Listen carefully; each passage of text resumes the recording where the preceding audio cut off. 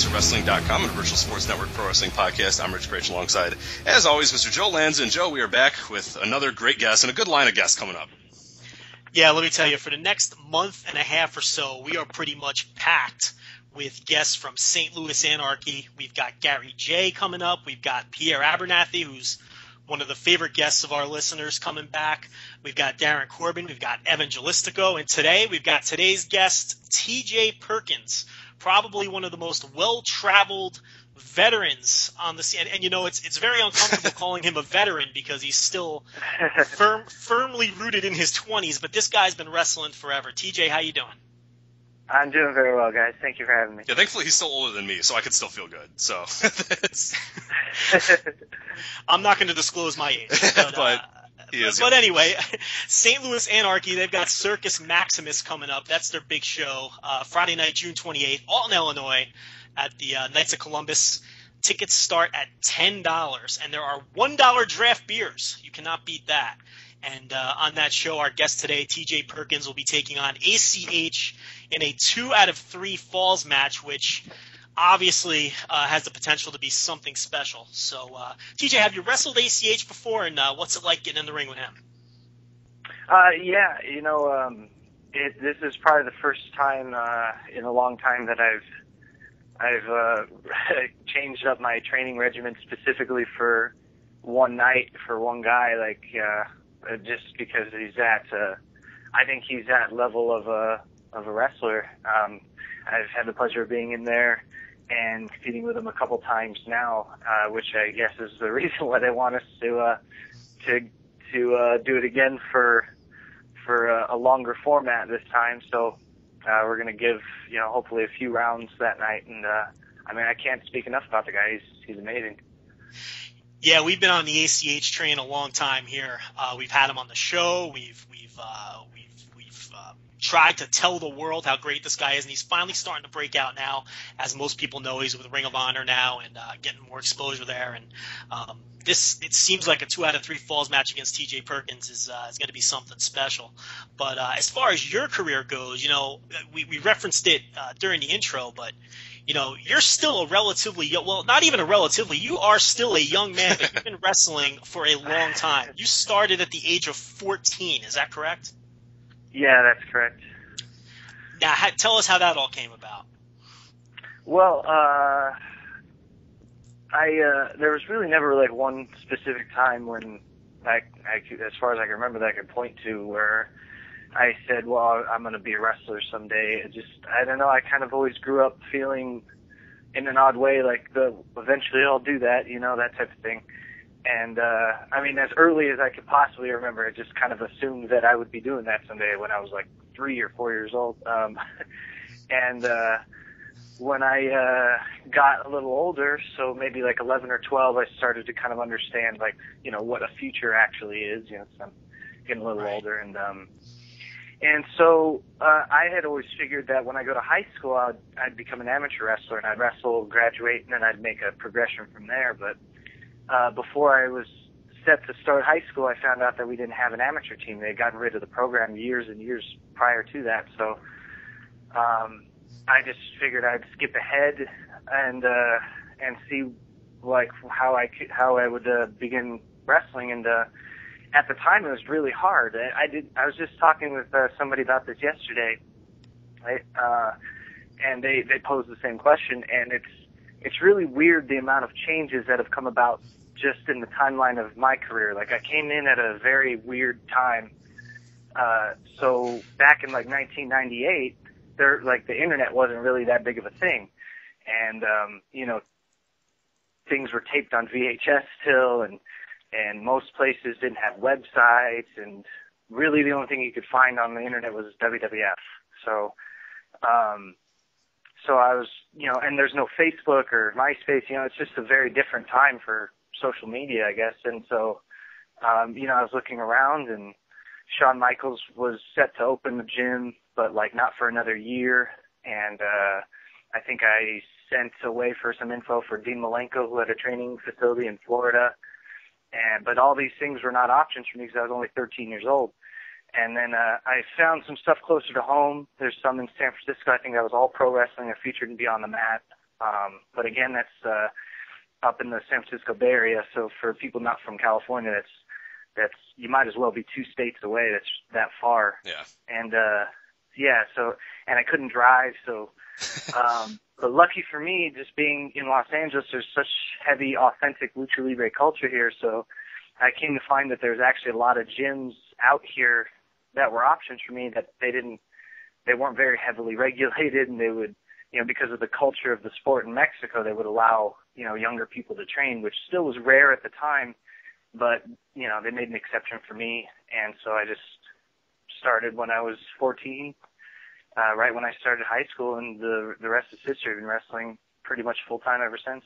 One kind of fascinating story that, that I sort of saw from your, your history is how you kind of dealt with working independent wrestling and doing high school at the same time. And, and I know there's there's stories that you know guys would pick you up on Fridays and you ditch Friday classes and that sort of stuff. What was that sort of atmosphere like? And maybe w- what did people around you or your friends or parents or something like that? What did they kind of say? Because you're, you're doing that that hard indie life and you're you know you're 15 years old or whatever. So yeah, like uh, so I had my first match when I was 14, and so from my first two years of wrestling, you know, I was 14 and 15 years old, and I couldn't drive. Um, it was, it's a lot like uh, when you see in period pieces, like in movies, when they have like a montage of people in various lifestyles and they're kind of traveling by the seat of their pants type of thing, and they're just like throwing suitcases in a car and going and like it's kind of like that. It's my recollection of it. It's just very uh it's exactly how you put it. I mean, I would uh I'd be at school, you know, half the week and uh I'd I would go to training every night and then come about Thursday I would uh I think uh maybe Thursday or Friday depending on what I had for the weekend. I would uh ditch the second half of the day and sneak out of school and have uh you know, local wrestlers who were going on the same loop. They'd pick me up, and then I would just, I would just sleep in back seats and and on couches or on floors or in locker rooms for the weekend and wherever we were going, and then uh, Monday morning they would drop me back off at school oftentimes, and uh, just continue continue my life like in a seamless manner. Um, that, sound, that family, sounds. What did your parents think? Yeah, that's, that's I gotta know. Um, well, my family didn't really keep uh, close tabs on me, so they. Uh, I grew up.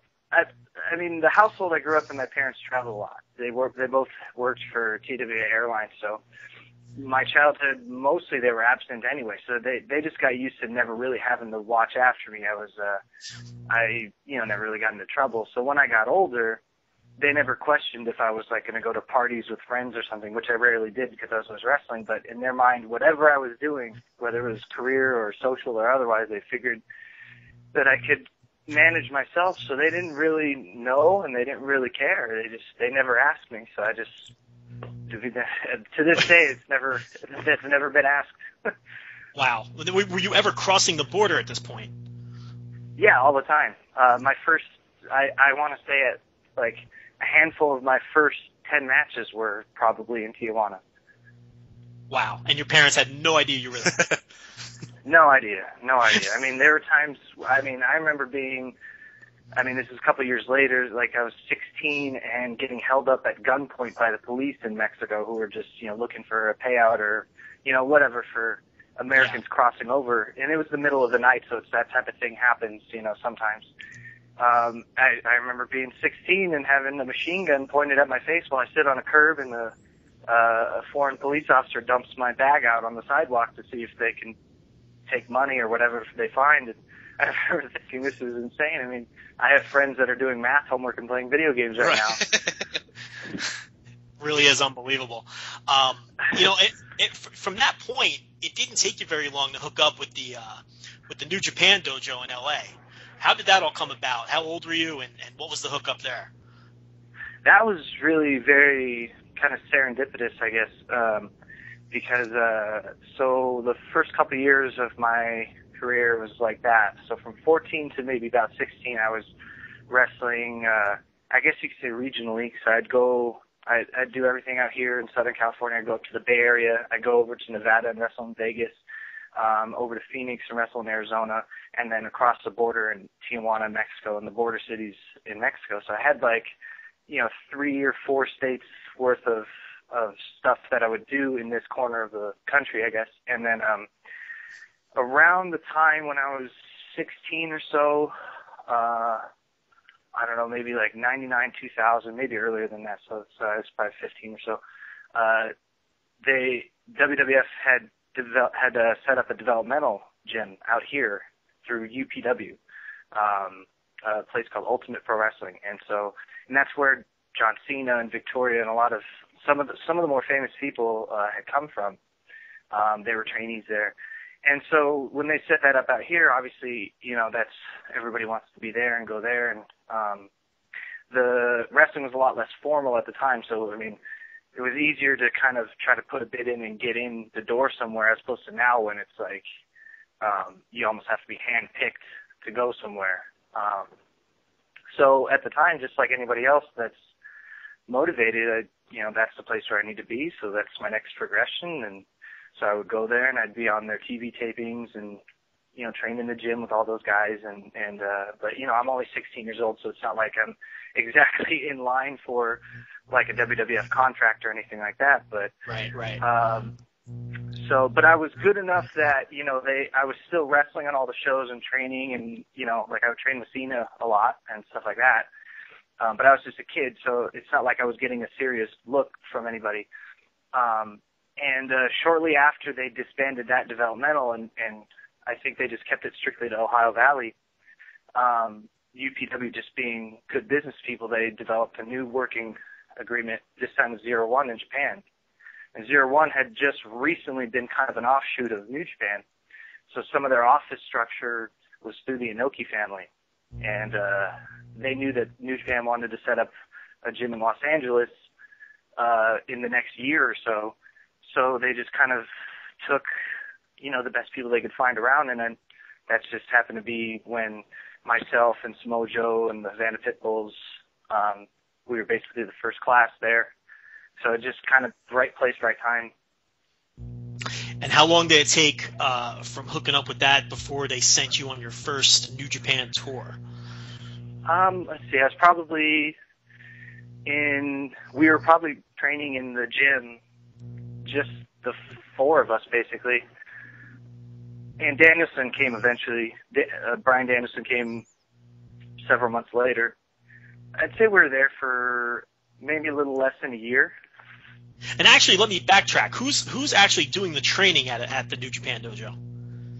So when they opened it, uh, because of Antonio Inoki and his uh, his um, his upbringing in, in wrestling, um, in the gym in Tokyo, he founded when he founded the company itself. He founded it uh, off of Gotch, and, and all the training is was traditional catch wrestling and stuff like that. So this was basically his baby to work with, the LA gym. Um, the Tokyo gym has since been, you know, uh, conformed a certain way to the way the company wants it. So he kind of reverted back to the original way he envisioned the company in the 70s. And so all of our training was through, initially was through Justin McCully, who's a fighter turned pro wrestler. And, uh, all of our coaches were fighters. So we, and, yeah, at the time, MMA was really kind of a premature thing. It wasn't a big thing yet. And so, you know, we had a lot of guys coming in and out as guest coaches um, for us, but all we ever did was box and and uh, and submission wrestle. I mean, there were like several weeks in a row where we didn't even get in the ring. Um, it was all it was all grappling and, and boxing. So. And like you say, this is this is like this is pretty much pre Zuffa before MMA and UFC really took off as as a mainstream thing. So uh, yeah, yeah. So I mean, like we would get guys like we would have um, you know some guys that were Pride Fighters. We'd have guys from the Shark Tank come down as guests. Uh, there's a, a training center called the Raw Center in Los Angeles, and uh, those guys who come in, those guys are pretty awesome amateur wrestlers. Um, and uh, we'd have some Lions Den people. We'd have some pretty famous people come in and, and work with us. Like Ken Shamrock was coached us for a little while. Um, Josh Barnett spent a lot of time with us. Uh, we, you know, we had a lot of guys. Bas Rutten, um, I mean, I could probably, I'd probably go on forever. There's like a I mean, who's every, who. it, Yeah, some solid yeah, names yeah, in there. Really, Yeah, it really was. I mean, Don Frye and uh, Kazuyuki Fujita, and I mean, there's just tons of guys. I mean, even uh, Herb Dean, the UFC head referee, he uh, he was training with us. He was he was Oh, uh, a, ge- a guest in some of our practices all the time. So uh, yeah, and and I'd say like every every month or so there'd be like a week where there'd be it was like open to the press. So you know when you watch like um like you know Pacquiao Cotto 24/7 or like Mayweather Guerrero 20 you know like and they have media days where they're in the gym and there's tons of people there and you know on a normal day those people aren't always there. Right. Um, and then there's all this press in there, and we would have that. Like maybe once a month, we'd have a week where it's like, like, like there's Ken Shamrock, five guys from Pride, a few guys that would eventually be in UFC, and then like Lyoto Machida, like all these guys are in there, and we and it was just like a big nexus, a big like United Nations of world class fighters, and here's Right. us, like we're like we're we're you know kind of just stuck in the middle of all that. And then there's, you know, people taking video and pictures for, you know, magazines in Japan and stuff like that. Um, it was a crazy experience, you know.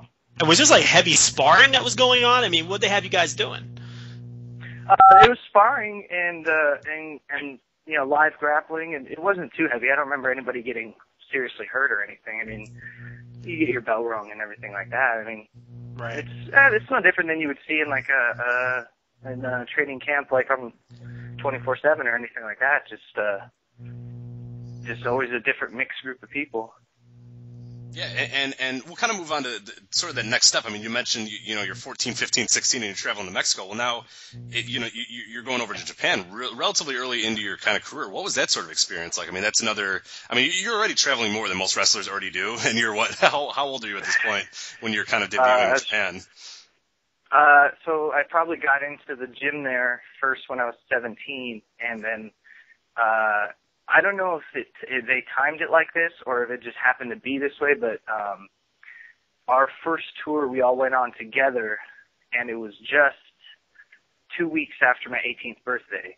And New Japan, unlike, I mean, and it's not to like take other places down a peg or anything like that, but the level of company they are, everything is done very formal. So like, you know, we have contracts and visas and everything. Absolutely. Um, it's not like you know, like when when I'm traveling as a young wrestler, if I go to like take matches in Canada, like I pretend I'm visiting family or something, so that I don't get hassled by by border patrol or anything like that. But with like New Japan, just like with WWE or anything, or you know WCW, TNA, and all that, like they you know they have to file and process all of our formal papers, which they couldn't do because I was only 17. So I don't know if they timed it that way, that they sent us after I was 18, but it was like as soon as I was 18, they said, okay, we're taking you to the consulate, get your visa, now you can go. And so I was able to go. Now, at this Um, point, at this point now, are you are you a student of wrestling at this point? In other words, were you a big fan at this point? Did you did you understand the magnitude of being 18 years old and going to work for New Japan? Is basically what I'm getting at. Oh yeah, absolutely. I mean, uh, to this day, New Japan has always really been my bucket list thing. I mean, there's several things on my bucket list, and I've been, I've been blessed and very, very, I mean, extremely lucky to have checked off pretty much everything now. Um, but to me, I always thought that New Japan and CMLL, respectively, were two places I would never ever attain. Like that was untouchable. Like I mean, if I was playing video games, that's like the that's the unlockable achievement that will never be touched. You know, like so. You know, I just felt like you know if I get older, you know, then someday it's like okay. At the time, it was like okay, WCW is attainable. Obviously, they folded, so it didn't didn't work out a couple of years into my career. Uh, but then, I, you know, you just think, okay, well, WWF someday, like that's something I could do. It's here, but how on earth do you get to the other side of the world and and like how do you like what is how do you even go about that ladder? How do you climb that? Like um and it just so happened that it fell on my lap right away, both of them consecutively, New Japan and CMLL. So like to me, it was a huge shock. Like I was on top of the world, like because that that was my dream job. yeah, where do you go from here now? um, Yeah, I mean, like, and it's, I mean, everybody's goal is to go to to WWE, and same as me. But like, just on a personal level, I had such a favoritism for those places, and I was like, I couldn't believe it. And uh, obviously, being that young, like not until you know years later, maybe even just now. I mean, I'm starting to realize the added value of having done that so young. But um, but I I knew the the levity of it um, as soon as it happened. It was just incredible. I mean, I was 18 years old walking down the Tokyo Dome ramp, and it's like, God, I can't believe this, you know. You know, coming over from the American Dojo and, and you guys all being uh, pretty young, were you treated like young boys when you were there, or were you brought in as sort of uh, what, what was kind of the feel there? Um, mostly just me. Everybody else was treated like the normal American gaijin wrestler. Um, like, uh, so if if we compare my generation of juniors going over there, like me, the Pit Bulls, and Danielson, to like older generations of say like, you know, Guerrero, Malenko, Benoit, that type of thing. Um, I was like the Benoit. Like, I was the guy that they're like, okay, you're gonna stay in the dojo. You're gonna do all these squats. You're gonna stay in between tours and train. And the other guys will be in junior title matches. So, um, so it was different. I think because of my age is is why they did that. Do you remember your first match? Over was it in Korakuen Hall or was it? Uh... Uh, yeah, uh, we had uh, the first thing we did was actually called a Muga tour. A Muga spelled M-U-G-A, and it's um, it was uh, kind of a it was Fujinami's thing, and it was basically based on it was the style was supposed to be based on original catch wrestling, but it, they didn't really enforce that, so people would just wrestle however they wanted. Um, but that was our, our debut tour right right before the Tokyo Dome. Um, and uh, so the first show was at Korakuen Hall. Then we went up to Osaka, then back to Korakuen Hall, and then um, eventually it was there was the Tokyo Dome, and then a normal tour right after. Um, so the first the first two out of three matches were at Korakuen Hall. So you were thrown right into, I mean, all these buildings that you're probably watching on videotape at that time. And uh, were, were you in awe walking in, or I mean, you're still a young kid? Yeah, yeah, no, absolutely. I mean, you walk in the tunnel and you're looking at the interview station that you see all your like all these uh, heroes of yours would sit down and talk to press, and you're like, wow, this is this is here, like I'm here. And then uh, I think the surreal moment was being in the ring and and them announcing us from the corner and listening to you know the the ring announcers speak those words live right in front of you is is uh is kind of a weird experience. So um, you know that was really cool, and for me it was really cool because uh, the second match in Osaka, um, I they had me wrestle uh, Tiger Mask. So I mean, just for me personally, that was a, a huge deal. So and, was and, that the, oh, I'm sorry. Was, go ahead. No, that's okay. Was that the current Tiger Mask at this point? Probably, right? Yeah, yeah, yeah, yeah. Yeah, no. So I was going to ask. I mean, you mentioned Tiger Mask, and and, and that was kind of uh, maybe talk about your transition into sort of a new character in that sense, where you um you kind of took over. Uh, you know, I'm reading here they said you know the American answer to Tiger Mask or whatever, and they kind of gave you a different gimmick and all that sort of stuff. Talk about that. I mean, because that that really shows a lot of promise in you. I mean, obviously you're still at a super young age, and they're really kind of gravitating towards you, or actually giving you you know some new ideas and storylines and and a whole new gimmick and that stuff. Yeah, um, I uh, I don't know that they intended like to ever have like a huge investment in, in me creatively or anything like that, but it was it was really cool of them to to to take the time to like kind of analyze my angle on, on my career separately and, and give me uh you know give it new life so to speak. Um when i first came into training and just because I, you know maybe just because sayama is such a big uh influence on me um they noticed the similarities like immediately. So when the when the office would come over to la and and take a look at our progression before we ever went to japan it was immediately they noticed like all the similarities um, between my style and, and uh, Sayama, which at the time was a lot more like Sayama than it is now. I've I've grown into like other avenues as I've gotten older, but um, that and they also thought I was like Rey Mysterio because I was so small. But uh, but uh, um, so after my first couple tours, they, uh, you know, uh, so they had me wrestle Tiger Mask a few times my first couple tours, and then there were some matches like at the end of tours they would have me tag with Tiger Mask 4, and then uh, I'd, I'd do some of the moves and things. Um, and uh, they just, you know, they sat me down and said, uh, you know, you're getting older, so you know, we'll see if we can do have you do something different. And it's kind of like after I did the Young Lions Cup, which is kind of like their way of graduating from student to uh, to uh, to main level wrestler. Um, after I did that tournament, I just went ahead with uh, with the new direction. So.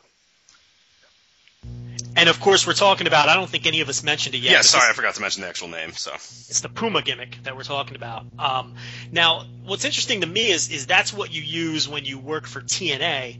Uh, now, since you had that, since that originated in New Japan, did you does TNA now own the rights to that, or how does that work? Um, I don't.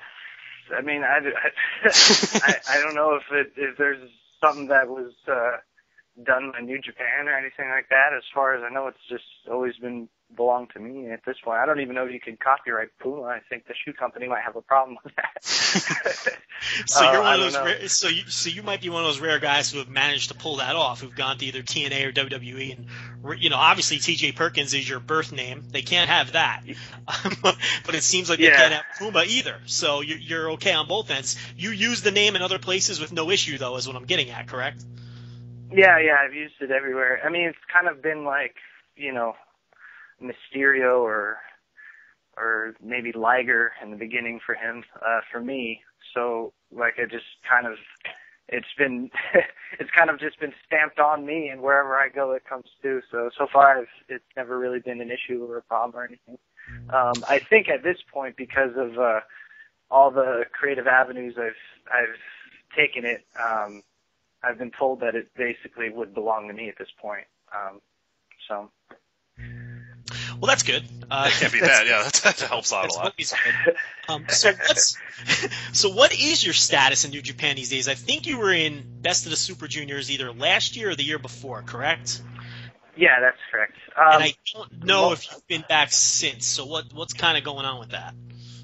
Well, mostly uh, right after that, I signed the contract Ring of Honor, and I was there for um, almost a couple of years, I guess. I don't know if I had started with them prior to going over to Japan, but uh, maybe a couple matches. But then, uh, so I was, more or less, I was uh, I was just kind of concentrating on doing as much as I can here, and I just bought a home here, so it's you know uh, trying to manage being a proper adult, which I was lucky enough to not have to do the first half of my career because I wasn't one yet.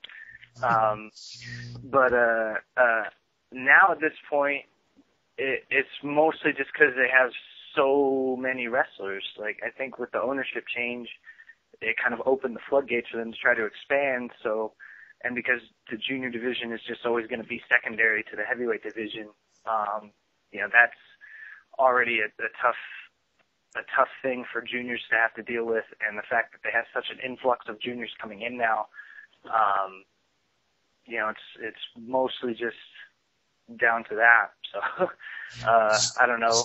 Uh, so did the ownership change? Did the ownership change change anything for you, or do the wrestlers just deal with uh, Gedo and Jado? How does that work? Um, I don't think it changes anything as far as like uh, like like I still communicate with New Japan office uh, frequently. Uh, it just I think it just changes uh, you know the business structure obviously and um, and uh, you know I don't know like what their plans are as far as how they want to build. I know from what I'm told they uh, they kind of want to go big so um, you know I, I don't know some product of their investment plans and just led to a pretty heavy saturation, especially in the junior division. So, you know, you're you're a guy who's pretty much you, you've been inside a ring pretty much everywhere. Um, TNA, Ring of Honor. We talked about New Japan. We talked about Mexico, CMLL. Um, is it? But but your your your stays don't tend to be very long. is that just your personality? Do you not like to overstay your welcome, or or why is it that you, um, you bounce all over the place so often?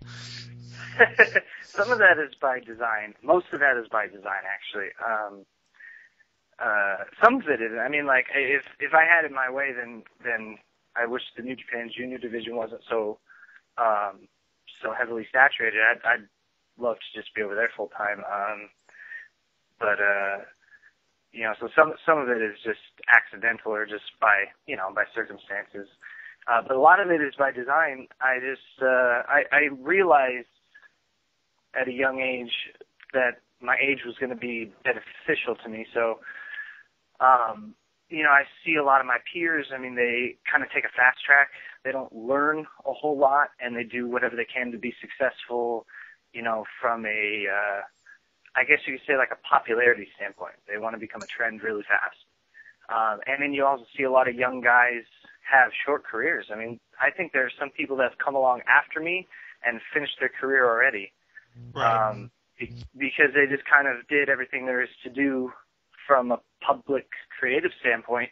And then if they can't make the jump to, you know, mainstream level stuff, which for me happened really early, um, but for some people, they'll do everything they can at, at a certain level, and then they don't succeed at moving up, or they're unwilling, or their body's breaking down, or whatever the case may be. To me, I just always figured, you know, I want to do this till I'm like 45 if I can. So I got all the time in the world. So to me, my education was super important. Um, I just wanted to be the best wrestler I could be. I could care less if people were saying that I was super popular, having a great run in some place, or oh, he's he has great matches all the time. Like, I just wanted to have good matches everywhere that I could learn something. Um, because I knew that someday that, you know, if I continue to be lucky and keep my head down and work hard, that I could end up, you know, still in my 20s and have wrestled everywhere. And then the job becomes a lot easier because you're not trying to check stuff off the bucket list. You're just trying to do everything efficiently and do what matters and, and apply what you've learned. So, um, and I'm still trying to learn. So a lot of that was just like, you know, I want to go to Japan and learn everything I can here. And then they gave us the opportunity to go CMLL if we wanted. And I jumped at that because it's like, well, I could stay in Japan. I might be junior champion by next year, but I could also spend a year in Mexico. And that doesn't come up every time, you know, for everyone. Mm-hmm. So I want to go there. So then, you know, you start to sacrifice certain career jumps that it's like, it's a nice thing to say that you had certain things, but I think the education I got in exchange for that was invaluable. So I, I think um, a lot of it was um, because of that. And I think one one interesting thing that, that kind of looking at your career and, and looking at the multiple times where you were at TNA, you sort of we'll talk a little bit about that. Is how has TNA maybe in your mind changed since? I mean, you came there in 2004 when it was still kind of beginning. It was more of a it, it had its initial you know, kind of roster of people. And slowly but surely, it sort of evolved. And you've sort of been there a bunch of different times. You were there in 2004, I think 2007, even as far back as 2011, uh, 2013 as well. What, what, what has sort of been the difference in your mind uh, since you've kind of been there in that entire evolutionary period of the company? Uh, you know, I, I think that they just, uh, so I first came in, you know, 2004 or so, and then, you know, and like you said, I bounced kind of back and forth. I'd come back in for a run in say like 2006 for a while, and then I'd be gone again. And then I'd come back in 2007 or 8 and then be gone again. Then I'd come back in like 2010 or 11 and be gone again. Um, every time I come back, it seemed like there would be a few new pieces. A lot of the core remains the same. To me, I think the big thing is that I could see that there's they've been progressively learning to find their identity and how to really become you know, a great mainstream company. And I think that it's, you know, I think a lot of people now because, you know, like I was talking about earlier, the generations have changed with social media. Stuff moves so fast now. And people, I think generally, the people, people are just impatient. I think they think, oh, you know, they've been around so long and there aren't that many changes.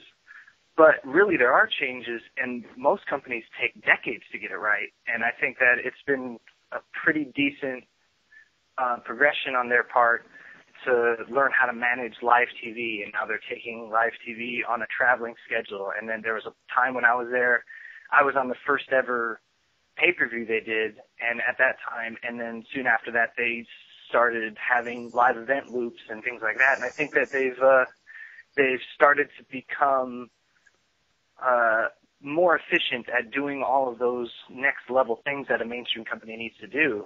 Um, and that's really been the big difference to me is that they've kept the core, they've changed out certain pieces as far as the roster and people and people in the office and things like that over the years, but they've progressively started to understand what is going to be asked of them to, you know, be a company at that level. Um, that's really been the only difference. You know, and and they keep calling you back, so they obviously like you. But if they offered you if they offered you a full time spot, would you take it? And, and before you answer, the reason I ask that is I've talked to people both off the record and on the record who who have told me some people who said they won't take TNA full time and and their reasons vary. Some feel they can do better on their own on the independent scene money wise. Some feel that there's sort of a TNA stigma if the goal is to get to WWE. But would you take a full time spot if they offered it? And if not, why? Oh, uh, absolutely. I mean, I don't see why there's any reason why why you shouldn't. Generally speaking, I think in a case by case scenario, I'm I uh, I'm certain because I've seen it in certain guys that they uh, they know what they're doing and, and they might think otherwise. But uh, but to me, I mean, it's uh, you know, if you're doing this and the goal is always to get to a major league level, and there's not that much of that nowadays.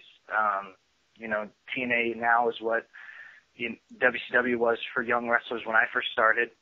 Uh, WWE will always exist. Uh, New Japan is and probably always will be you know, a big mainstream entity as far as being a major league level place to go. Uh, Ring of Honor is trying really hard to continue their transition. Uh, but you know, there's really just not that many places to go. It's, it's, uh, you know, like Shawn Michaels talked about it in his like documentary thing where when, you know, they went back to AWA and then they realized that with the way that you know, the world was changing. There's just not many places for them to go. So they ended up back in, in the WWF. And I think wrestling, you know, goes through those changes and it's now back to a point like that where, I mean, you could go on your own and in a case by case way, like for me, I, um, my, my life operates just fine if, if I'm continue to be freelance. Um, that's no problem for me. Not everybody's in the same boat. Uh, but for me, I would take it just because it's a great place to work and uh I don't know about other people, but for me, I don't always enjoy being my own boss.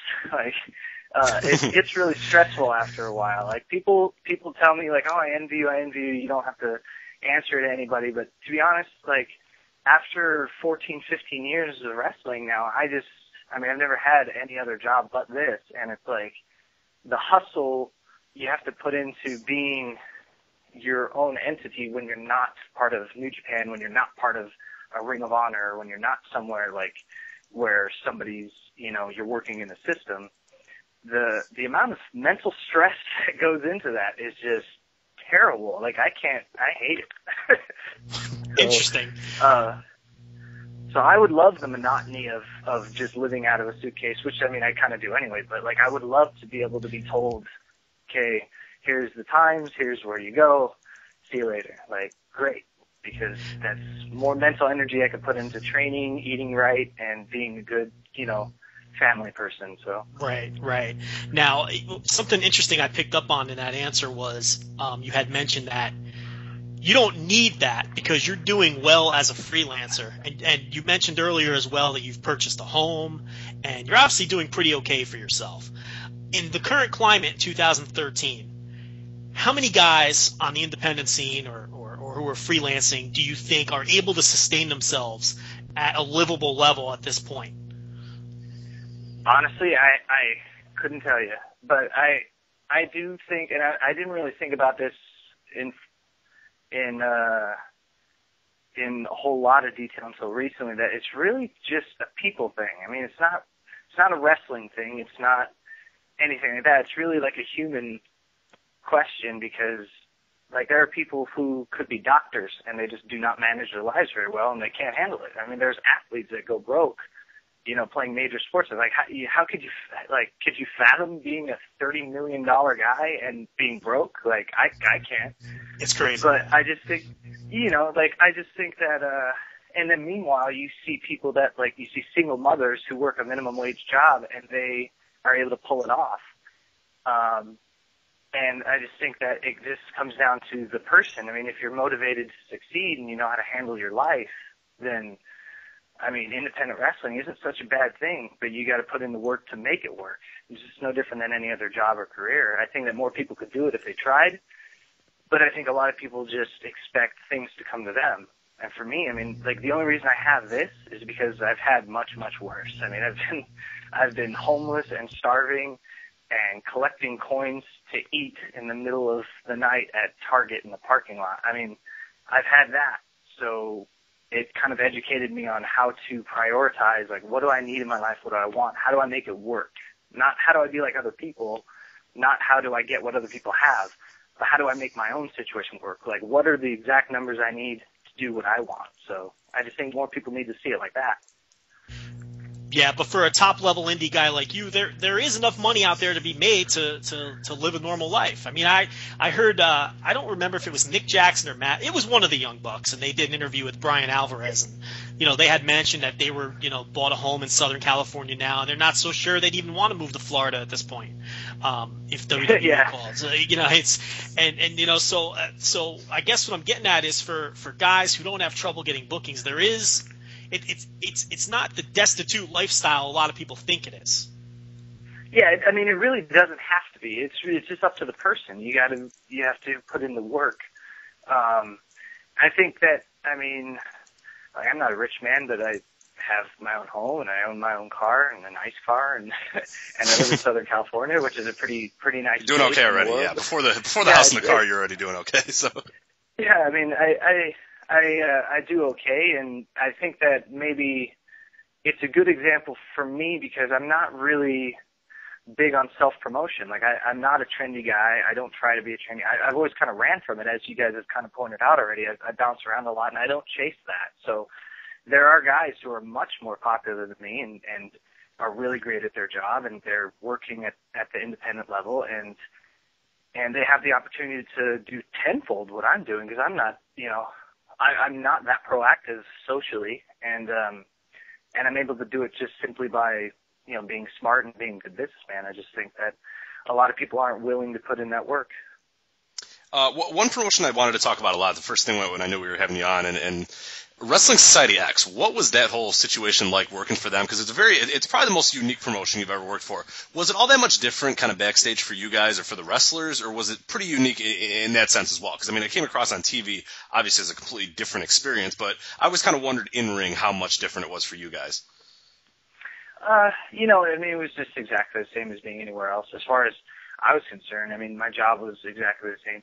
Uh, but when I say exactly the same, I mean uh, in in being in like a mainstream environment. Like when you're working with television and that type of uh, production, the way that it comes out in the end oftentimes uh, changes drastically the way that they dress it up in editing and all that. But as far as us, the the professional lifestyle is the same. I mean, hurry up and wait, and time cues, and cameras in your face, and faceless people jerking you left and right, and and you know, like it's not as organic as doing a live show somewhere and just going out and just letting it all hang out in the ring. Um, but doing the job uh, is the same as any other job as far as mainstream wrestling goes. It felt the same as being at TNA or being at WWE and doing you know, a, a SmackDown match or something like that. Uh, just the char- the char- the real life characters were a little different, uh, as is most uh, uh, Mass Republic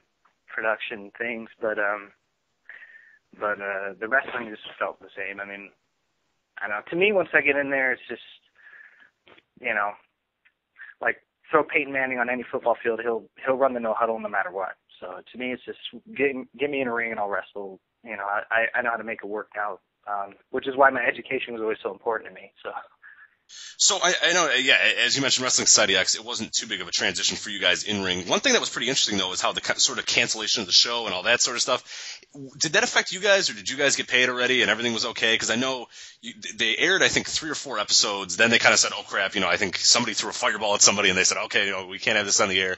And then they aired all the other episodes, and they said, "Okay, now you're never going to see it ever again," or whatever were you guys still good though, or um, were you, were you, was it kind of you guys when you did your tapings, you got paid then, and then you were fine, or how'd that sort of work out? Because I remember at, at that time I went, man, there's a lot of really cool guys in here, and I hope they got paid because you know that roster was awesome. It was filled with great um, guys um, at the time. You know, I don't, I don't know for everybody else, but I mean, for me it was a little different because I did, uh, I had uh, wrestled on the pilot, and then I had wrestled a handful of matches, maybe one or two more, I guess, and uh, I don't know when they would have aired, but I actually I didn't stay through the the whole season, and um, there's some guys that were there that left immediately. Um, they didn't even stay. They didn't even wrestle on the pilot. They they uh, had other stuff that came up, um, uh, uh, like uh, you know like something like uh, like opportunities to wrestle somewhere else or something like that, like like WWE or something like that. I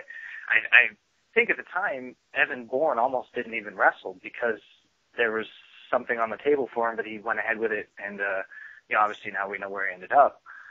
Um, I like some. I, as far as I know, like guys that I was friends with and kept you know tabs on how everything was going, they uh, they ended up making pretty good money, and so everything I guess was fine. I don't recall anybody having any problems with it as far as that goes.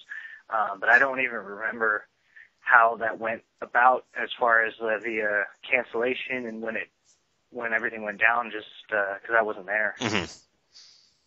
Now, was there a contract required to participate in that that precluded people from looking into other things, or was there an out if you know you got an offer from someplace bigger? I think there there probably was for guys, and pro- I'm sure there was uh, for me because I uh, I kind of informed them up front that I might not be staying through the whole project, and I don't think that there was a huge role for me to play there anyway. Um, but uh, so I didn't really, I didn't have to go through anything. I, I, I signed like a day contract or something like that.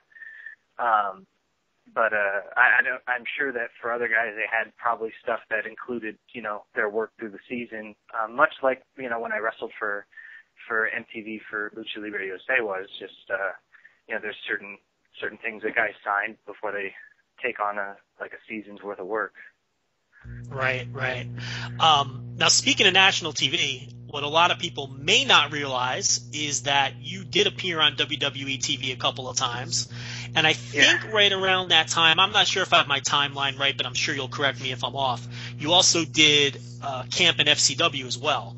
I think it would be interesting for the listeners if you can talk us through that and what it's like being at a taping and and uh, who you deal with. Um, you know, who books you for something like that, and then also what goes on at a at a FCW tryout camp. So, um, uh, so the camp that I did for FCW, I'll start with that because it's more easy. To, uh, the camp I did wasn't was not actually a tryout camp. It's just a steady camp that they hold for a certain while and then it ends and they restart it again. And it's basically a night version of their day camp, which is the regular developmental practice and um, some of the guys from from the contracted camp uh, also go to the to the evening camp. And it's not really a tryout camp; it's just everything that the guys do during the day is the same thing that the people at night do. The only difference is the daytime guys are all under contract, the nighttime guys are all freelance, and you know maybe they they will be or they won't be. Um, or they're guys that just want to get in it. They need to get extra work in. Um, and then they do have those tryout camps that are like real short. I mean, like only several days long. Um, so that was that for me. Uh, I was there for the for the evening camp, which was just uh, a monotonous, uh, tedious like same thing they go through um, during the day. Uh, so is that is that? Day, so I'm sorry, I'm sorry. Yeah. Is that something you're invited to? Is that something you're invited to, or something where you pay to participate just to have the eyes on you? How does that work? Uh, some guys are invited. Some guys uh, sign up uh, just as if you know, same as if you'd never wrestled before, just going to the gym for the first time, like you would in Ohio Valley or any other place. Um, I it, in in a lot of ways, it's actually exactly like the the regular camp for the contracted guys because the contracted guys are both veteran wrestlers who were who were given the opportunity, and some of them are have never touched a ring in their life. it's almost the exact Right, same right. group Mhm. people.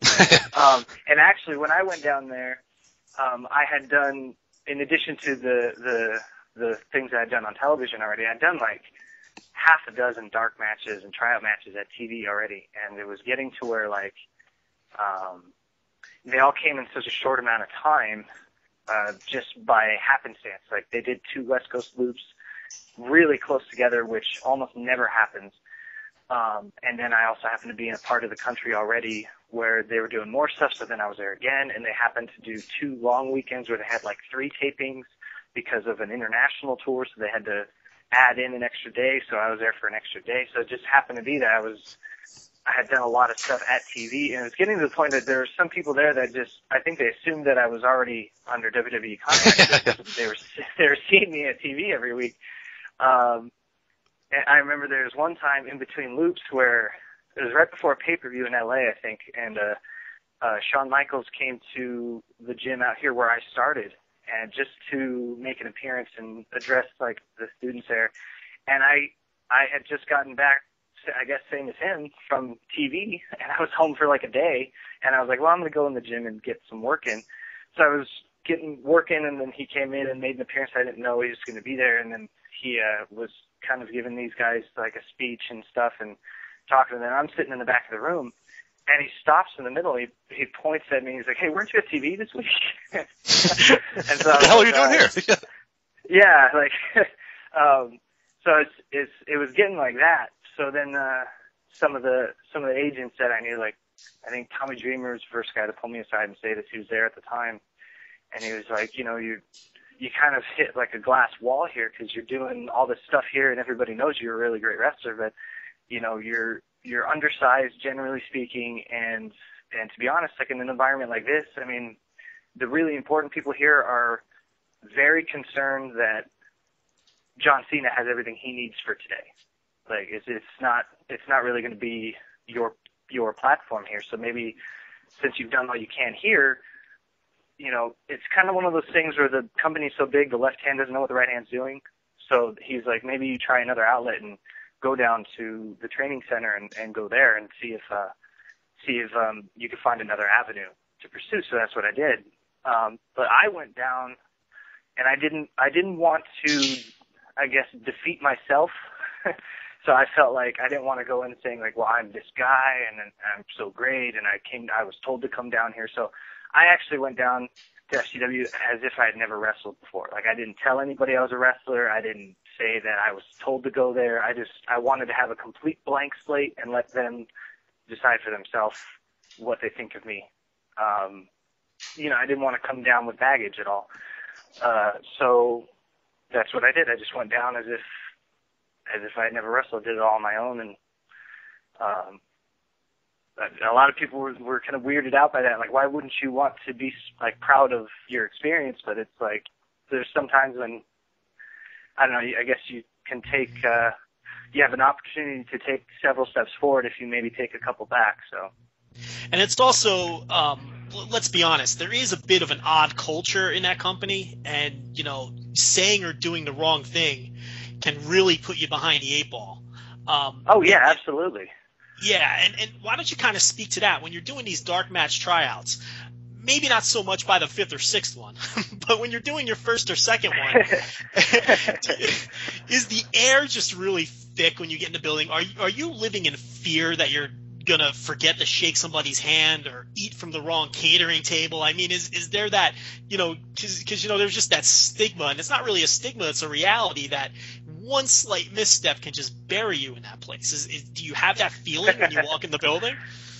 Yeah, absolutely. There's so many stories that are like that. I'll try to recall some of the few short instances, but I mean, so okay, like you were asking before, like your typical day when you go and and uh, and uh, you're doing work like this. So, I mean, they have uh, they have a talent office just like any other major company, and and um, and they'll contact you and give you the basic info, the dates and times and all that, and give you you know your rundown and everything, and then and then you show up, and so I mean every part of it is going to be uncomfortable. I mean you drive to this arena and you don't even know how like what parking lot you're supposed to enter from. You don't know what tunnel you're supposed to go to. You end up parking where normal people park, and you realize you have to walk a football field's length of of crap just to get to where you're supposed to go. And then when you get there, you have to check in with like 18 different people to prove that you're supposed to be in the building. And then you go in, and and uh, just like how uh, just like how it is in Beyond the Mat and stuff like that, like you, you know, you see those printouts of, you know, catering, arrow this way, and locker room, arrow this way, and TV media station, arrow this way, and seamstress this way, Vince's office this way. All that is real. That's legitimate. That's not part of like, like, uh, the documentary or anything. That's really how it is. You walk in the tunnel, you see that tree of printouts, and you just find the arrow that belongs to you, and you go there, and and then it's just like with any other TV thing. You know, hurry up and wait. I mean, you you're struggling to get there on time and check in with the person you're supposed to check in with. There's usually some sort of agent that will tell you, okay, you need to check in with here so they know you're there. You're worried about being on time and finding that person and finding your locker room, and then you sit for several hours because because that's just how it is. And then uh, uh, you know they they'll get the ring set up, and guys just like in like the NBA, they go out for the pregame shoot around, and guys go down and and work out and stretch out and and uh, you know just clear their head and warm up and and uh, guys go down there. Sometimes they they assess you as far as your skills and stuff like that. Um, it seems like oftentimes I was uh, being tabbed to like help other people, which was bizarre to me. Like um, I think like Arn Anderson one time asked me to help Morrison and Bourne, Evan Bourne, I think, come up with a come up with a move or something. That, no, pay me. like, no, just give me. they're work, they, they're trying to work on something, and and uh, and I was asked to help them, and then uh, and then there's uh, another time when I think it was Norman Smiley, who at the time already knew me very well because uh, because I had been in FCW for a while, um, asked me to take a group of the divas and see if I could help them, and so it was, it was really sometimes it, it works like that. It's weird, and then. uh um, there's been a few times where I just wanted to go in and freestyle it with my friends. I'll go in and just start wrestling, you know, uh, TJ Wilson or, or, uh, Jamie Noble and, and then, uh, and, you know, the whole roster will gather around the ring and watch it. It's kind of nerve wracking, but it's cool, I guess. And, uh, it's just, it's a different experience every time. And then, uh, like you said, I mean, there's all kinds of weird things where you feel like you're walking on eggshells. You worry if you're dressed right you know, you worry about, you know, forgetting to say hello to certain people. And then here's, here's like the worst ever situation is you, you're walking by Triple H and he's on his cell phone. Do you shake his hand or do you not? Are you a jerk if you don't? like, do you say hi? Do you wave? What do you Right. do? Like, Right. like if you, you do you interrupt him when he's trying to say goodbye to his kids, or is he just trying to order a pizza and it's no big deal? Like you don't know, like, and there's no answer to that.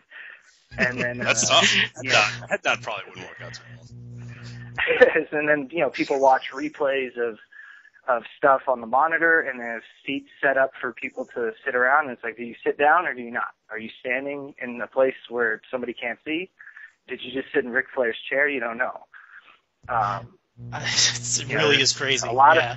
yeah, yeah, there's a lot of stuff like that. I remember there was one time when, uh, uh, you know, we were done and, um, with, uh, the day part and, uh, we went back to the locker room, a group of us, and we're changing, uh, and the show's gonna begin or maybe it had just begun and, and, uh, Mark Henry came back and basically kicked the door and it was yelling at us like, w- you know, why are you guys so ungrateful? You should be watching and, and learning and and seeing the the the the the live you know replay on the on the monitor like everybody else. And it's like we were told to come back here and change so that we can go do you know like.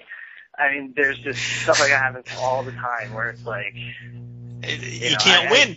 Yeah. you can't win. And so, uh, and then it's weird because like the harder you try sometimes, I mean, there's times where you try really hard to do all the right things. Oh, then you get Especially with me, for like I, Yeah, DDP Yeah, I mean, got- like- still gets made fun of for hugging Vince McMahon once. I mean, they, they still do angles now where they make fun of hugging for the sole purpose because he was so grateful to get his job that he hugged him. But no, can't do that either. 'Cause it's a, yeah, it, it's just you never know. well, I mean, like for me, like I'm a guy that that uh like I am like a soldier for wrestling. I mean, ever since I began, I was deathly afraid of not doing not doing it right, and so I've always done everything I've been told, like not 90%, not 95%, like a 100%, like everything. You tell me to eat a certain way, act a certain way, stand a certain way, dress a certain way, I've always done it. And so like in this situation, it's like like I don't know that there's too many people out there that could try and pull off any harder than I can to, to do everything right. And it's like Murphy's law, everything will go wrong, and and that happens that way. And then there there have been times when when I purposely disregarded most things, and then it it's I got all the bounces. I mean, there were times when I showed up and didn't even bring gear with me, and and they they insisted that I wrestle multiple matches. And, and okay, I don't have gear. Okay, we're gonna make you gear. Okay. uh, and then it's like, all right, be by the ring for the for the workout.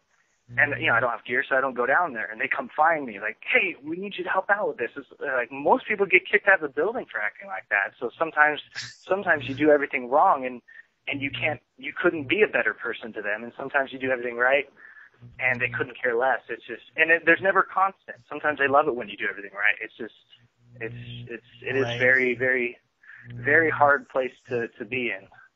So when when you have a dark match like that, is it and, it's a tryout? It, uh, now you said you had several. Um, were these against other guys trying out? Do they stick you in there with somebody from the roster you're familiar with? Do they try to go out of their way like that, or is it just completely random?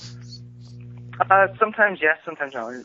Like there's sometimes when you're with, it is very random. Um, there are sometimes when you're you're wrestling with, uh, you know, other people that are there that are freelance guys. Sometimes you're wrestling somebody that needs a tune-up, and sometimes you're wrestling somebody because they're being groomed, you know, for uh, you're basically their tomato can, so to speak, and uh, um, sometimes it's all about you. Sometimes they just have you wrestle, just have you wrestle. I remember one time they the, they had CIMA from Dragon Gate at Raw, and they weren't interested in having him as part of the company. I don't think CIMA cared about being part of the company, hmm, but he Right, just happened to be there. And they they they had him. and They put him in a match before the show started. He wrestled Jamie Noble. They had a great little match, and it's like, and, and it's you know Jamie Noble isn't a regular competitor, and Right. so it's like, it's not like he was a soup can for Jamie. It's not like they're taking a look at CIMA or assessing him. They just put the match out there. Sometimes it happens that randomly. So when when you complete a tryout match and you and now are these always in front of fans or sometimes these are before the doors open? Uh, both. I mean, like, uh, like the the CIMA match. I was uh, like right before the opening match of Raw before they turned the cameras on, so the whole arena's full. Oh wow. Um, and then and then sometimes, yeah, like I mean, they they weren't wrestling in like Nikes or anything. Um, and then uh, you know they do have you know um, empty arena matches where it's just like nobody watching. Sometimes like I've had a few where the whole roster is just sitting around watching, which is worse than the arena actually. Right, right, I would right. I would rather yeah I'd rather wrestle in front of twenty thousand people at Staples yeah. center, like as opposed to the 30 guys who have been world champions and like are you know have a great career and they're just staring at you from eight feet away. Like I'd Right. rather have the, the first, but uh, you get both, and um, and they happen at random. And, and and then there's some stuff that's weird, like uh, Tyson Kidd. I was supposed to be his debut opponent. It wasn't literally until they were about to play his music that they decided to swap me out for somebody else.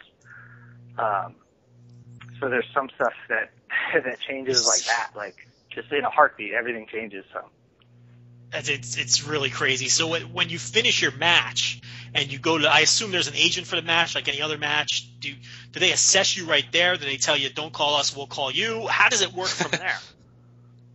uh, usually you you kind of see somebody immediately, um, and uh, prior to going out, I mean that's an, another eggshell process in and of itself because uh, you know you have this long tunnel with a billion really important people as you walk through the tunnel at various stations doing various things, and then uh, there's like a checklist before you go out. Like it's not just as simple as going on wrestling or going out and wrestling for you know a certain time limit. Like you know you're not allowed to chew gum sometimes. You're not allowed to have any water or oil on you sometimes. You're not allowed to have your hair parted a certain way. Sometimes you're not allowed to wear wrist tape certain times.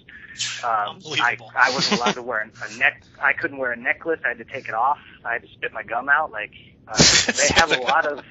Wow. There's a billion rules, you know, and it's. I mean, I, it's probably the same way as it is in like any other professional sport where they're like, you know, this is your dress. Like Michael Jordan got fined what like five grand every time he wore his Yeah. Nikes his rookie year because they violated the dress code, and it's like they were they were the team colors, but it was just that finite of a rule. Um, so it's it's just like that with any other television or production or entertainment thing where they say like, look, you know, we're we're not having gum now, or we're not having this or that, or no hair gel. It's like, o- Wow. okay. Fair enough, whatever. yeah. So Yeah. I, I, know one thing we, we, we not to kind of get off the, the wrestling just yet, but I know we when we had you on, we said we, we're get, we have to talk a little of NBA. We got to talk NBA. Big NBA Yeah, fan. yeah. Absolutely. Oh yeah. So uh, what are your thoughts so far in the playoffs, and, and maybe who, who do you um, who do you see emerging from the West? Because I think we have a pretty decent idea from the East, unless of course you think the Pacers. But Well, I mean, it, it's it's gone pretty predictably so far. I think. Um, yeah, I think everybody just pegged. I mean, Miami's such a good team, so everybody everybody's pretty sure that they they would uh, win out in the end, uh, myself included. Um, I'm kind of surprised that the Knicks didn't make the conference finals in the East. Um, as far as the West goes, um, I think it's pretty predictable. I mean, I kind of thought that San Antonio would end up in the NBA Finals, to be honest. Um, I think Memphis, I thought Memphis was going to finish higher than they did. I thought from the beginning of the season that they might be a conference final team, which I, you know they are, but um, and then I don't think anybody saw you know Westbrook going down. Obviously, No, that- I don't think people saw that. I mean, I think it's crazy to to think that like, I mean, who would have thought that the real like MVP of any team was Westbrook this whole time? I mean, he went down and changed the landscape of everything. I mean, what other player could you think of going down and their team would struggle that bad immediately? I mean, if if Wade or LeBron went down, Miami'd probably still win out in any series. I mean, the Bulls were missing tons of people and they were still able to compete. I mean, Yeah, Indiana's such an evenly. Yeah, I just, I mean, if Harden went down, Houston probably struggled quite a bit. I mean, I think to a lesser extent, if Tony Parker went down, the Spurs would struggle maybe a little bit less than say Houston would. But I mean, Westbrook going down, and it's like, wow. I mean, that he was like driving the team. and right, they were just running around with their, saw check- that with their heads cut off. They they had no plays, Yeah. nothing. They looked like they everybody looked like they hadn't. I think, I mean, Westbrook going down and seeing what happened with Oklahoma, and then if people think about what happened with Derrick Rose previously, I think it gives like new credence to the like the one guy that wouldn't vote for LeBron in the MVP race. Like, like I think it brings a lot of validity to his points that like there are some people on teams when you consider them maybe the player of the year. Like if they had a player of the year award, LeBron wins hands down. Yeah, I they, mean, they should almost putting change up the award. I think that's that's one of my one of my issues is there's always that, that that word value always becomes an issue because if it's yeah if it's best player then it's Michael Jordan wins it until he retires and then Shaq and Kobe and then you know and then LeBron is Exactly, the yeah. nine years and will win it for the next five or whatever and then but the value makes it a little bit different. That that that word always kind of Yeah, I mean, it completely changes everything. And the original criteria for the award was always, you know, value to your team. So, like, where would your team be without you? Um, like the like when Jerry West won the Finals MVP, and uh, Russell defended it. He said he should have won, and they're like, "Well, the Lakers lost, and West wasn't the best player on the court." And he goes, "You don't understand. The Lakers." Would not have been in the finals if not for Jerry West. They they wouldn't they wouldn't have even been in contention to win that series without Jerry West. It doesn't matter if he lost or if his numbers were low. His value to his team was greater than anybody else. Um, I just think that you know after Jordan, because he's such a marketable guy, the business of basketball or, or just sports has changed. So now it's it's really not about that. just you know, whoever whoever looks great on paper will get it. Um, but I mean, to be realistic, I just most of the guys that were finalists in the MVP race, you take them off that team and their team is still in the playoffs. But there's some guys like take Harden off Houston, the Rockets are a basement team. Um, if you took Kobe off the Lakers, they'd be 14th in the West or whatever. Like, I mean, it's just there's some guys that their value to the team it, it has no bearing on the numbers. Uh, somebody brought it up in the NHL actually about uh, Ovechkin being in the MVP race for the NHL, and they said, well, you know, how could you give it to this guy? He played, he was terrible half the year, but while he was terrible, the Washington Capitals were the last place team in the league. When he heated up, he ended up finishing first in the scoring race and putting up great numbers. And the Capitals finished third in the conference as opposed to being the last place overall in the league. And it's like people get mad and it's like, uh, you know, you can't give an MVP to a guy that performs bad sometimes, but it's like their value is directly connected to that team. And that's evidence of it. If they perform bad, the team performs bad. If they perform good, the team performs good. So obviously they're the most valuable to the team. It doesn't matter if they're the best player. That's not the point, you know? Yeah, and you know the bottom line is is not just for the NBA or the NHL, but all these leagues. They're never taking the word valuable out of that award because they like the fact that we're arguing about this. And, and yeah, exactly. You know, they like the fact that writers write about it and people talk about it, and it, you know, it gets them free press. So yeah. the word valuable, they like that little wrench in there, whether that was the original intention or not. That's never going to change. Um, and I think, I mean, with every passing year, like the it's I think this the the award itself in pretty much any league, mostly the NBA, I would say, than any other sport, really loses its meaning just because it's a voting process and all the voters are in some way like correlated to the league. I mean, just like the analysts for third party like television stations are, you know, in some way correlated to the league, like they're indirectly on the payroll, so to speak. And it's like it's a group effort to promote, basically, is what it is. Right. So, I mean, that's that's their way of making sure that they're selling jerseys and promoting certain guys. I mean, like like look at Kobe. I mean, as soon as he had that that uh, um, scandal in 2004, he was in no race for MVPs. He wasn't on anybody's poster, but like he was clearly probably the best player in the league for the rest of the decade until now. And it's like, how did it, he all of a sudden disappear from all these races? But it's like, you know, nobody wants to market a guy like that. So it's not just wrestling where they work angles. So, you know, oh no, definitely not. everything's a work in some respect. Uh, let's circle back to wrestling. I actually have. I want to make sure I get to some of these listener questions. Um, yeah. Because without you know, without them, there's no show. Um, we've got one from Rob Stryker, who's an original, who's a uh, actually a frequent listener here, and he's got an interesting question. He says, "I'm a huge fan of Gabe Sapolsky and think he's a great booker. Why is there a rift between the two of you?" And quickly before you answer that, for the people who have no idea what Rob Stryker's talking about, um, after Bryan Danielson left for WWE and Davey Richards uh, signed his deal with Ring of Honor, um, you were sort of earmarked to be the face of Evolve. Uh, you know, in the early days, and you worked a couple of shows for Evolve and Dragon Gate USA, and then you were just gone. And um, you know, whenever asked about it, Gabe, you know, and I'm paraphrasing, I don't want to put words in his mouth, always says something to the fact of, well, I don't know what happened. I'd love to work with him. You'd have to ask TJ what the issue is. And um, I, I kind of suspect what you're going to say because I, you know, I follow things like this. But for the benefit of the listeners, why don't you go ahead and explain what happened between you and Gabe Sapolsky? Well, m- more or less, it really just kind of came down to to a business thing. Um, uh, everything you said was pretty accurate. I uh, came in at the, you know, when Evolve was born, and um, and uh, even before Davey left, I was kind of positioned as sort of a. Uh, I was kind of like the Kobe to Davey's Shaq, kind of in the whole umbrella that they have there, not just in Evolve but in Dragon Gate USA as well. Um, and uh, and so when Davey left, which I actually saw coming longer, way longer before it happened, just because Davey's a good friend of mine, and uh, I, I just I knew the decisions that were on his plate. Um, so when it happened, and, and I was tapped to do that, um, you know, that's all accurate. Um, I don't have uh, any creative or personal problems at all with the guys at Dragongate or Gabe or anything like that. Um, it just kind of came down to I was struggling a lot in Florida and and I basically had restarted my career and had a second career basically born from all that.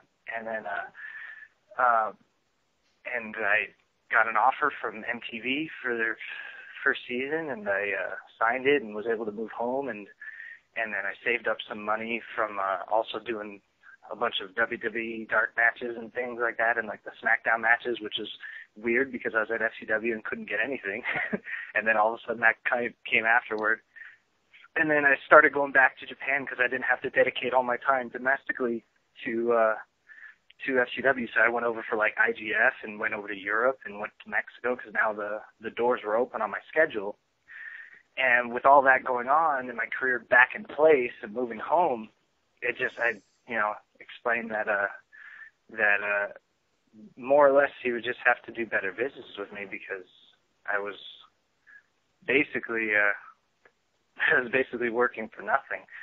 And uh he took it really cool at the time that I had said it. He said that he he feels bad that they wish they could do better and he'd like to have me again in the future and I said that's great and, and I'd love to be back. All those guys are friends of mine and they still are.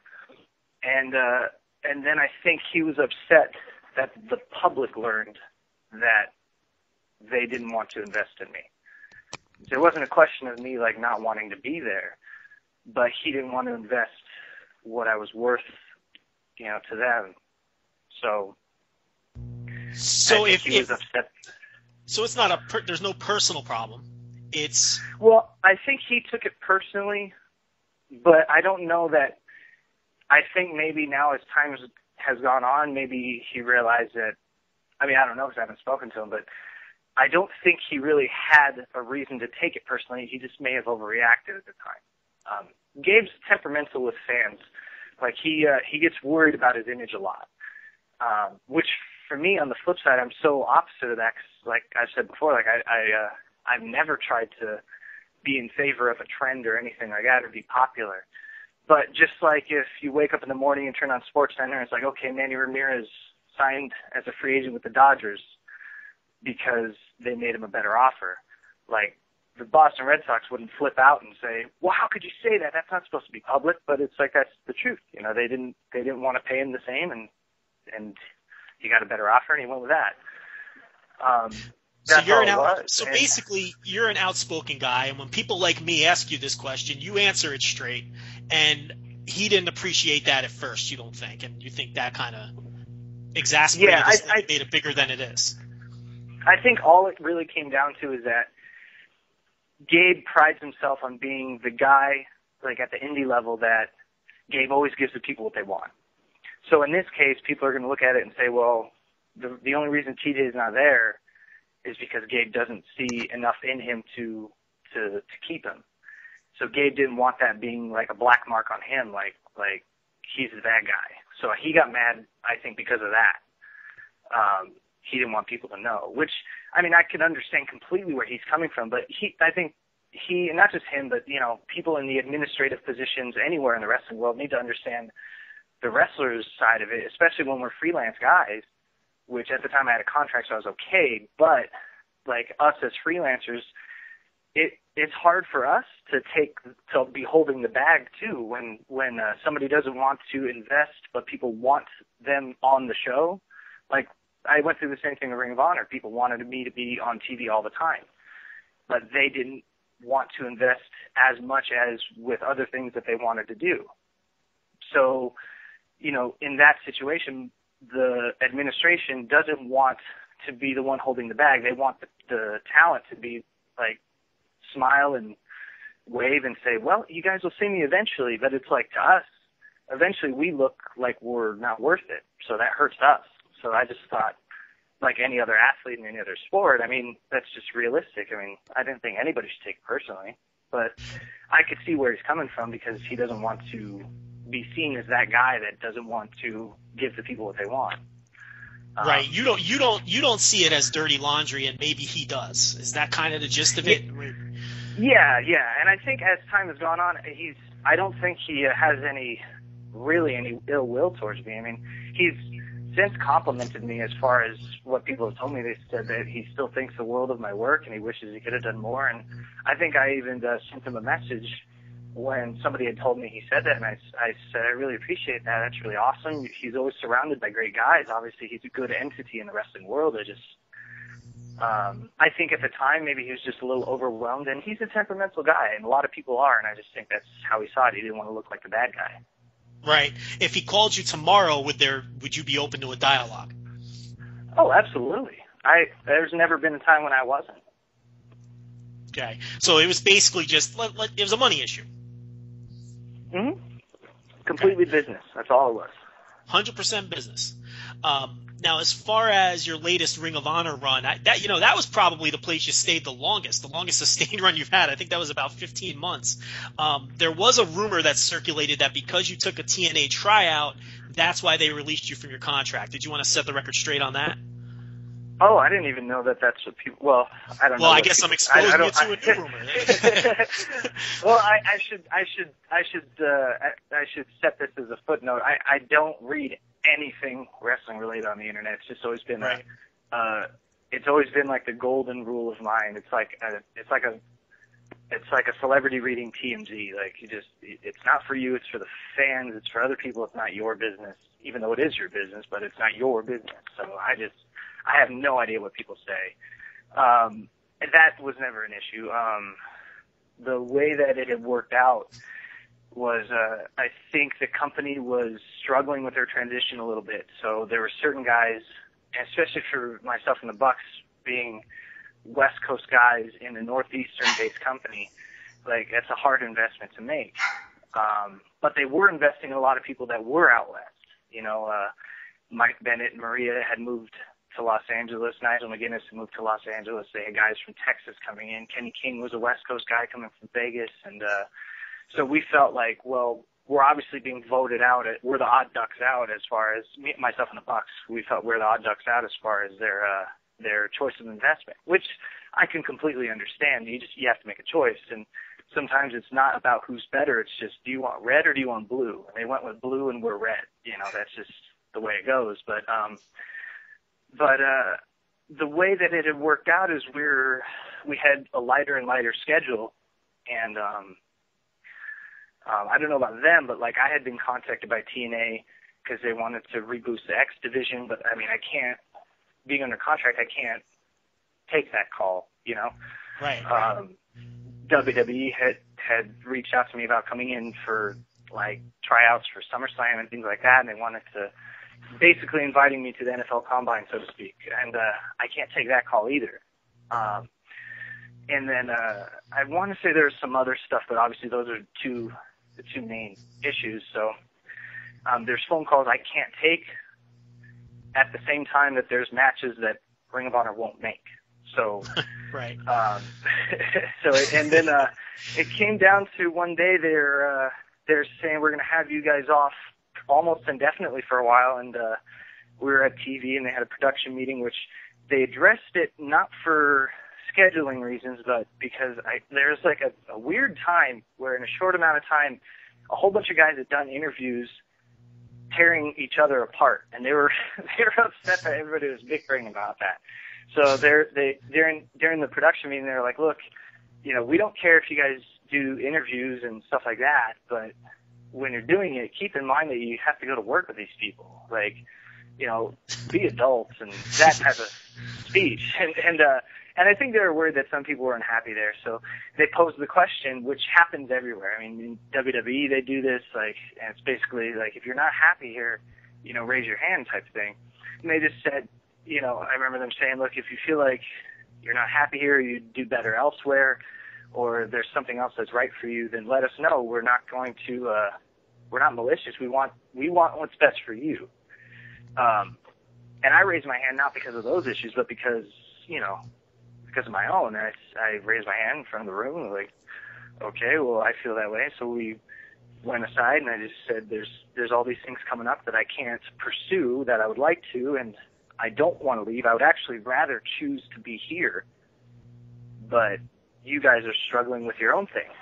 So, right. Because mm-hmm. to be to be honest, like if they if they, if if things were different, like if they were investing in myself and the Bucks as opposed to Bennett and Kenny or whoever, then I would have gladly left the phone down when TNA or somebody else called. I would have been fine with that. Right. Um, I was happy with my job, but but that's how it was, and they were super amicable about it. They said they understood. They even offered to contact them for me as a segue. Like, can we help out with these opportunities that you've kind of already missed?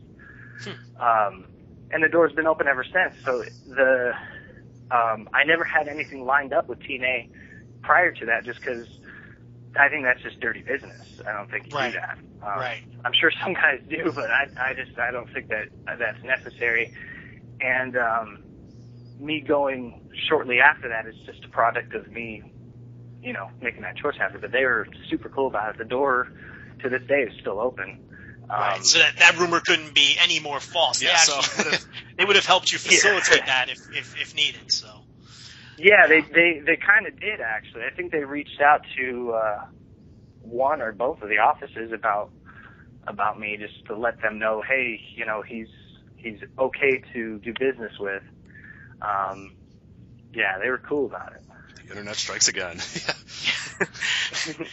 Friday I've said it before a lot of times that like if I told you what wrestling was really like, you would never believe me. That's what that's what I tell everybody that asks stuff like that, just because it's so people don't know any like it, there's so much stuff going on that people don't realize. But Well, what do you mean by that? Do you mean that it's less malicious than people would think, or are you going a different? both. Totally. I mean, there's there's some people that are perceived as saints and they're not. There's some people that that are that are looked at as troublemakers and they're not. There's some business related things that they that are unfold a certain way and nobody would ever in a million years guess that that's how it worked out. You know, just it's both. I mean, sometimes it's just almost consistently people are guessing right and it's actually left. Like it's just it's you know, I could. I've I've got about ten thousand follow up questions, and but we've gone about twice as long as we were supposed to. and you know, you, you've you've certainly lived up to your reputation as a fascinating interview subject, and uh, we'd love to have you back sometime because I could. Let me tell you, I can do a solid hour just talking. You know, ROH or yeah, yeah, we didn't even get into that in any detail yet. Or, or, the, or the door that you just opened with all of these, you know, you know, false perceptions of the wrestling business. I mean, it's just fascinating stuff. I had a whole line of questioning about working different, you know, uh, styles, you know, whether it be Mexico, Japan, United States, and we're not even going to get to half of it. So, uh, you, you know, this was just fantastic. But um, unfortunately, we are out of time. Um, so hopefully we can get a part two at some point. Not to put you on the spot. But to But- put you on the spot, yeah, absolutely. you have to Any, come back. No, you have to. You don't have a anytime. choice. It's my pleasure. you don't have a choice. You're coming back.